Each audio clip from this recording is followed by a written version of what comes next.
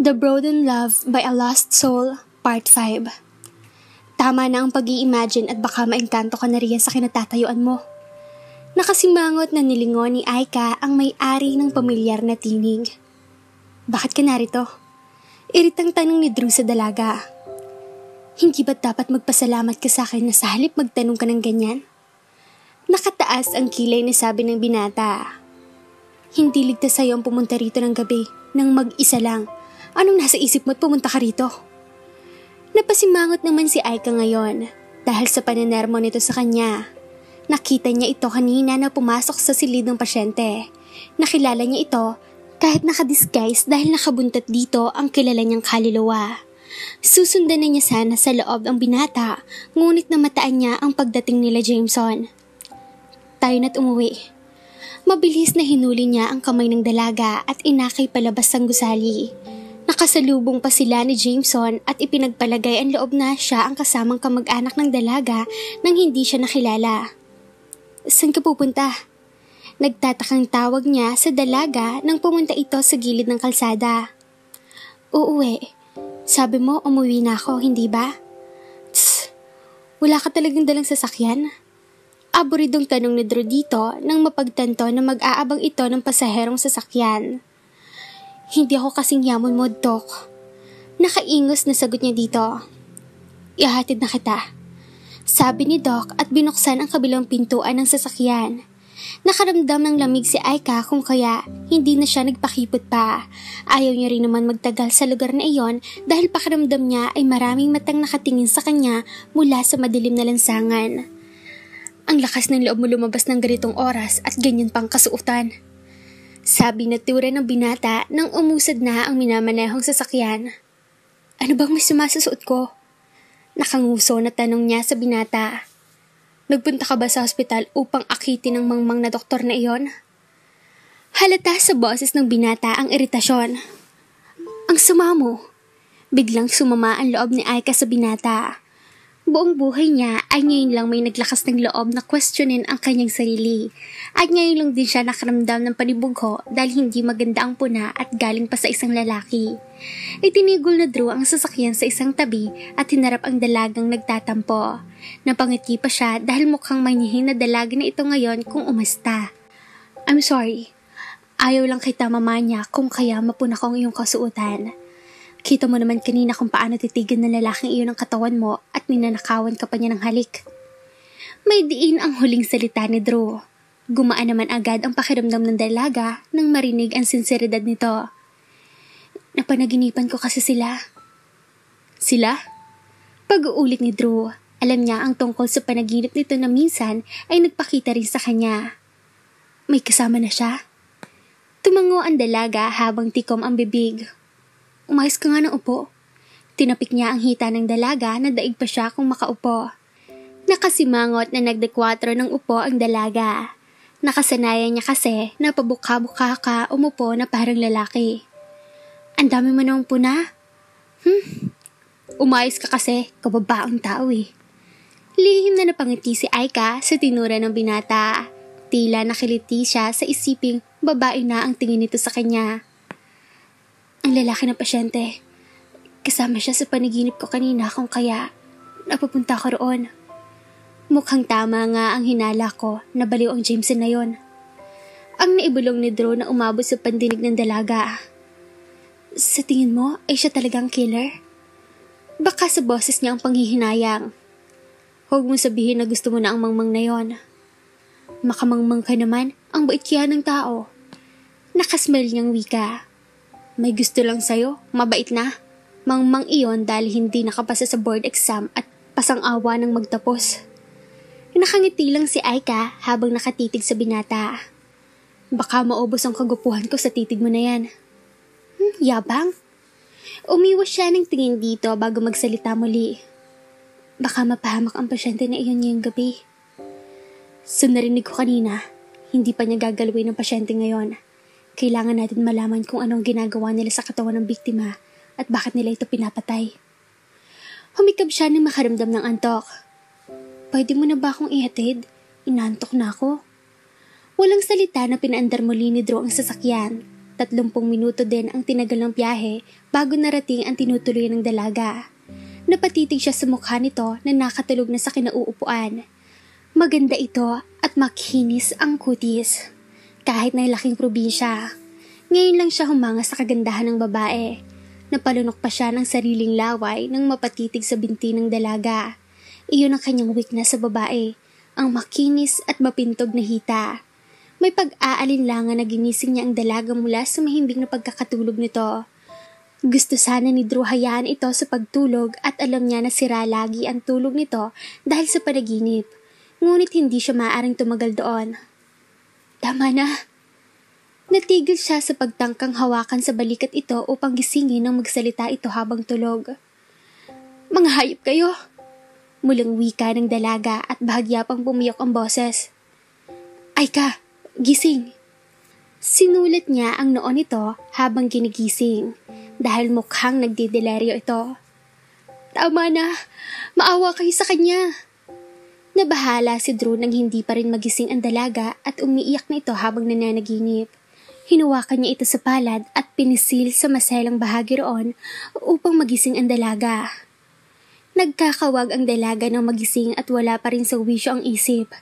Nanlalaki ang mga matang luhaan na nakatingin kay Drew. Shh! It's okay. Panagilip na ang lahat.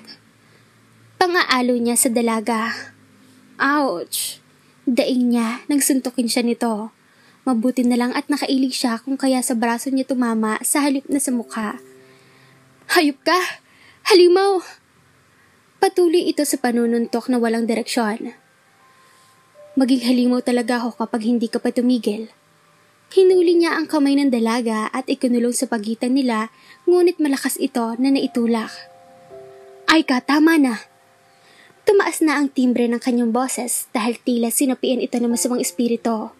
Epektibo naman ang ginawa niya dahil tumigil ito sa pagwawala pero bumanghalit naman ito ng iyak na lalo niyang ikinataranta. Shh! Panaginip lang iyan. Tahan na! Niyakap niya ito upang pakalmahin. Iba ito.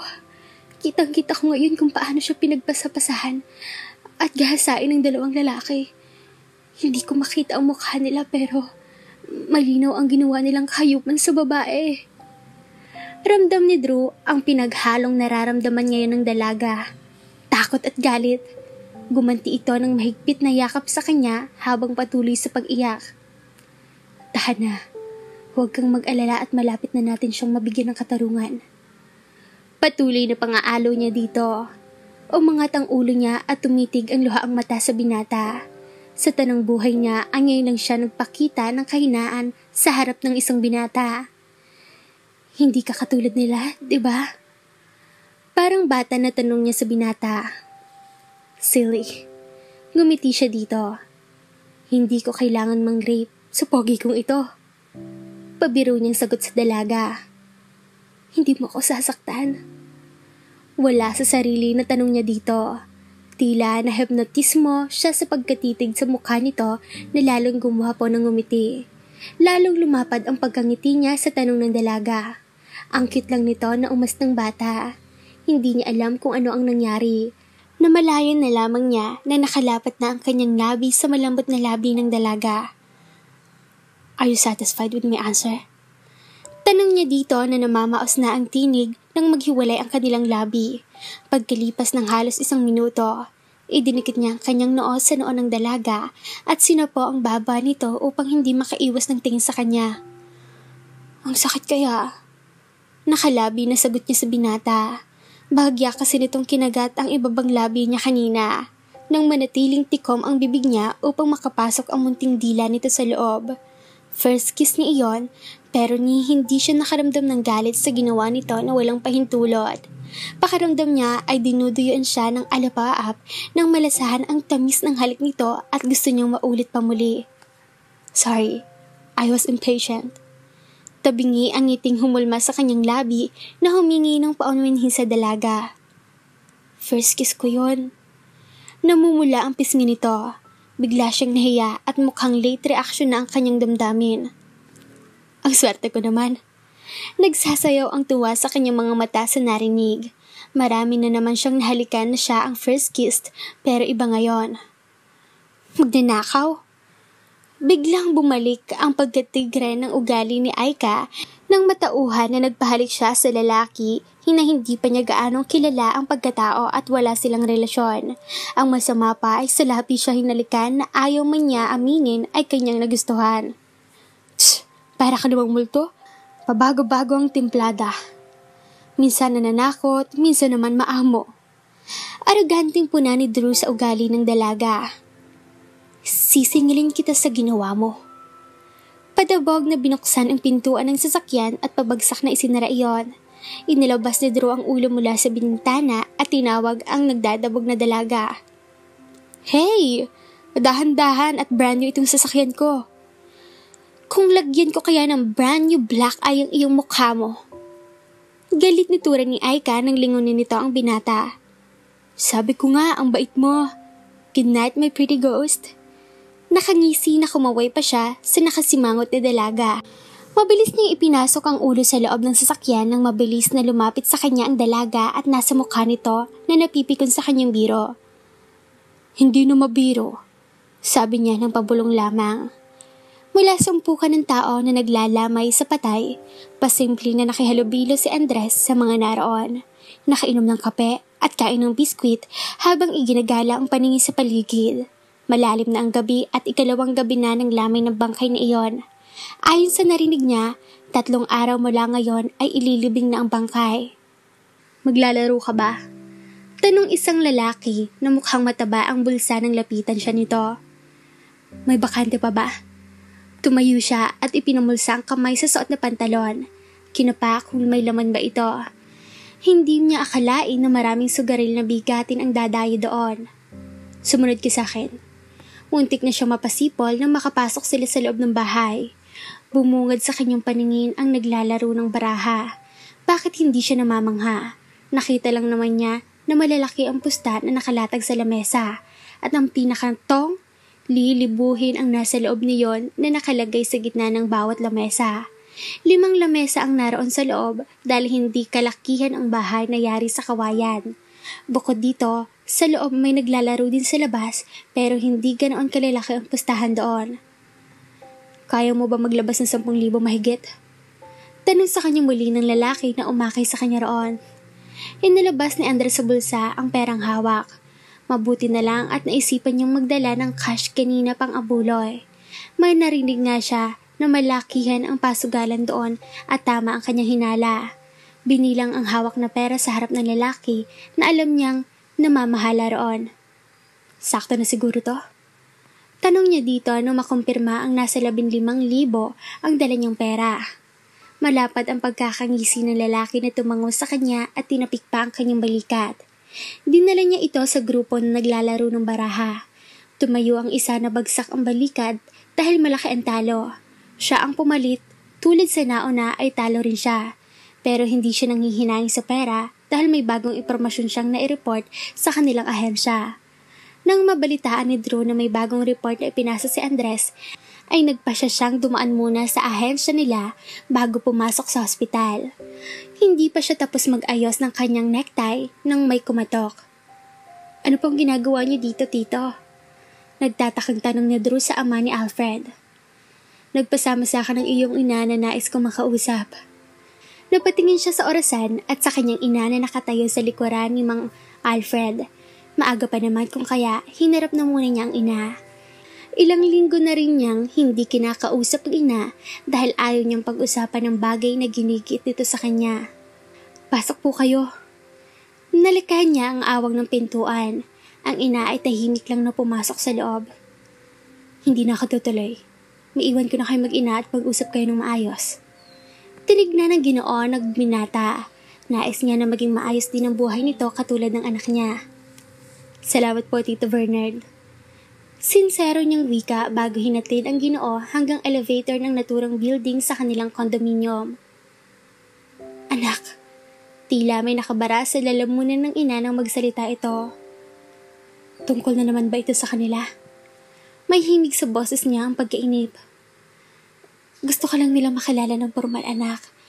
Ayaw mo bang makilala ang iyong kapatid? Nagsusuma mo na sabi ng ginang sa binata.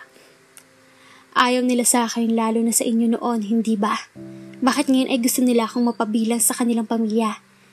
Dahil ba ako lang ang may kakayahan na mamahala ng kanilang pagamutan? Mapait na ngumiti siya sa kanyang ina na may luha na ngayon ang mga mata. Anak, para na lang sa mga kapatid mo.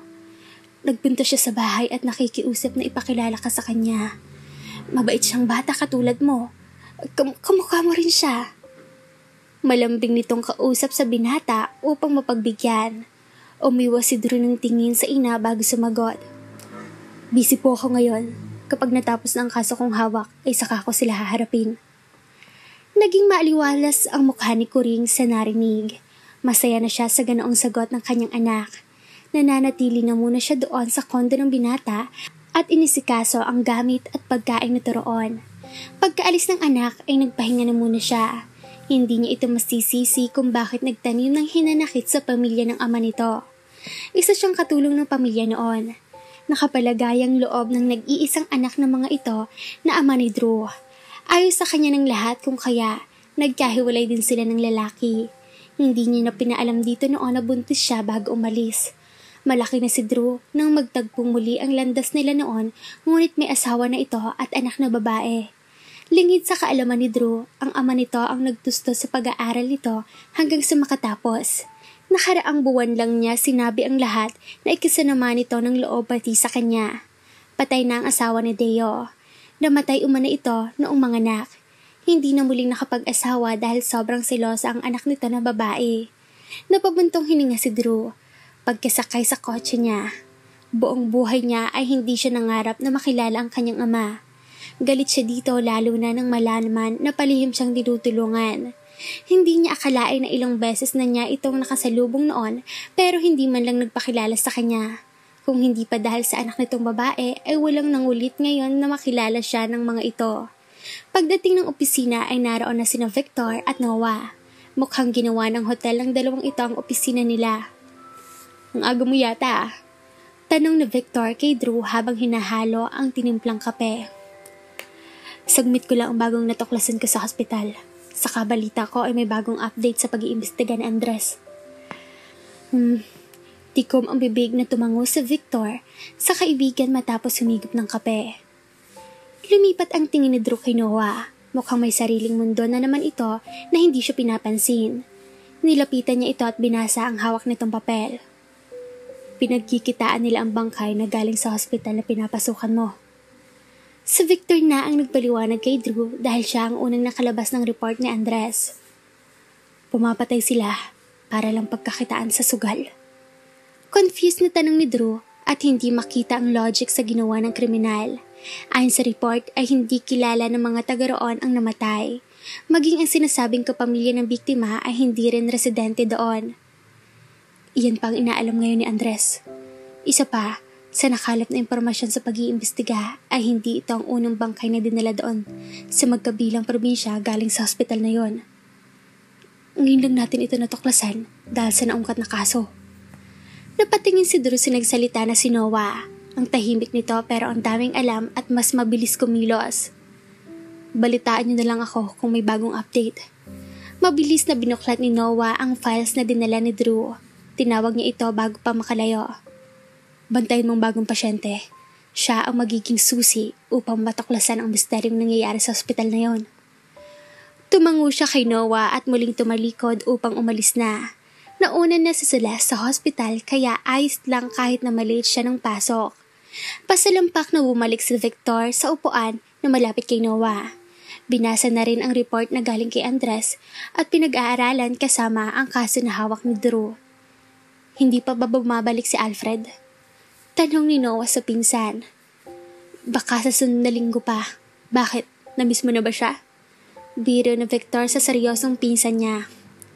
Asshole. Tumatawa na sinalo na Victor ang ibinatong papel sa kanya ng pinsan. Ang bilis talaga nitong mapikon. Pareho lang naman silang dalawa na may pinagdadaanan. Pero siya ay marunong umiti. Hindi katulad ito na mukhang pasanlagi ang mundo. Nag-away na naman ba kayo? Punah ni Jacob sa dalawa nang maabutan ang mga ito at makita ang hitsura ni Noah. Naglalambingan lang. Nakangisi na sabi ni Victor. Napapailing na nilampasan ni Jacob ang dalawa. Halos magkasunod lang silang dumating ni Marvin sa opisina. Katulad niya ay maaliwalas lagi ang aura dahil masaya ang buhay may asawa na.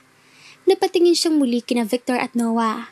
Sa tingin niya ay mahirap makahanap ng kapareha ang mga ito sa buhay lalo na si Noah. Tiyak na marami ang mangyayari kapag ang mga ito ang na-in love. Napangisi si Jacob nang maalala si Drew. Hindi magtatagal ay nabawasan na naman ang bachelor sa kanilang grupo. Ayon na rin sa report ni Celeste kaya alam niyang may katapat ng babae ang doktor ng kaaway kung kanilang tawagin.